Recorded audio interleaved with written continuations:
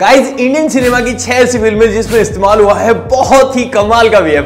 छठे नंबर पर है क्रिश थ्री 2013 में आई ऋतिक रोशन की ये मूवी इसमें इतने सारे वी यूज हुए हैं और पांचवें नंबर पे है शाहरुख खान की फैन शाहरुख खान को छोटा दिखाने के लिए और दूसरे सीन में थोड़ा सा यंग दिखाने के लिए बहुत ही तगड़े वी का यूज किया गया था और चौथे नंबर पे अगेन शाहरुख खान की मूवी रावण बहुत पहले आई थी और इसके सीन्स को और अच्छा बनाने के लिए इसमें भी वी का यूज किया गया था और फिर तीसरे नंबर पे है रजनीकांत की मूवी मूवी रोबोट 2010 में आई ये मूवी इसमें बहुत ही कमाल के वीएफएक्स को यूज किया गया एंड दूसरे नंबर पे है आई मूवी इसको डायरेक्टर शंकर द्वारा डायरेक्ट किया गया था और अब नंबर वन पे आती है हमारी सबकी फेवरेट बाहुबली और इसके साथ ही एक मूवी कॉन्क्लूजन भी है चाहे सांड से लड़ाई हो चाहे पहाड़ों से कूदना हो बाहुबली में इस कदर वी को तो फिल्माया गया है कि वो हर एक मूवमेंट पे रियल लगे इनमें से आपकी फेवरेट मूवी कौन सी है नीचे कमेंट कर देना और ऐसे ही इंटरेस्टिंग कॉन्टेंट के लिए जस्ट फॉलो कर लेना